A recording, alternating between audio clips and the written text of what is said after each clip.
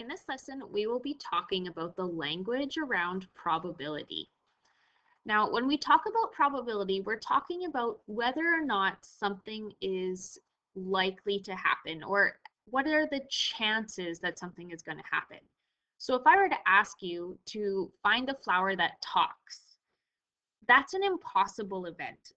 I would not be able to find any flowers in real life that talks. So events that cannot happen are impossible. Events that could happen are possible. Another word that we use is certain. So is the month after June always July?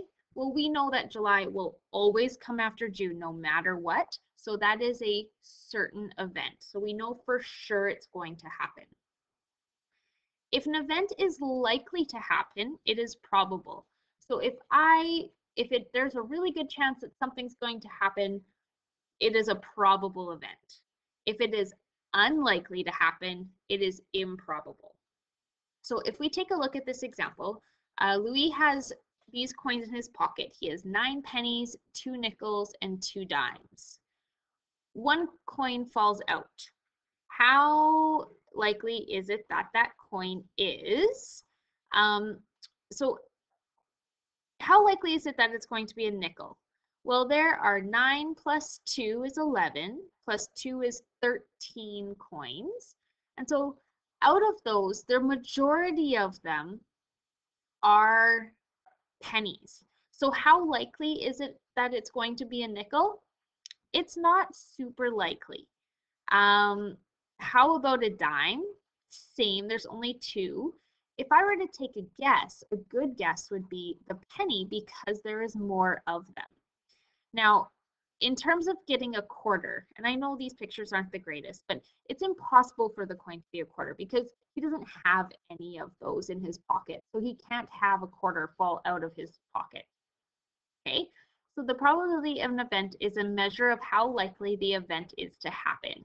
The coin is most likely to be a penny and the nickel and the dime are not as likely, although they are a possibility.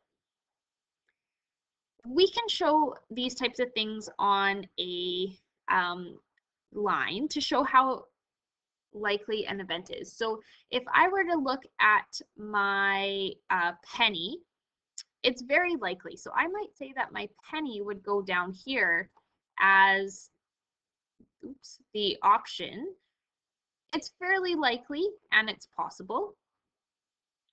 My nickels and my dimes, I would say they're probably in here somewhere because it is possible, but it's less likely than the pennies.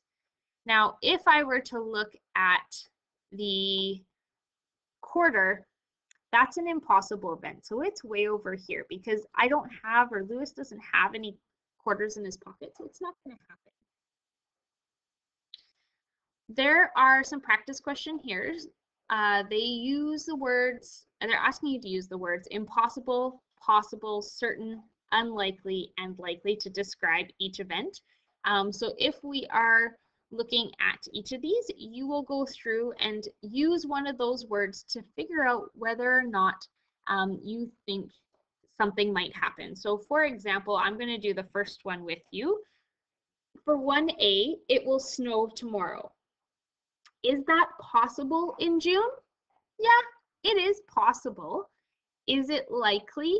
Mm, probably not. So that would be a possible unlikely event because even though I'm sure we have had snow in June in Saskatchewan, it's not very likely to happen tomorrow.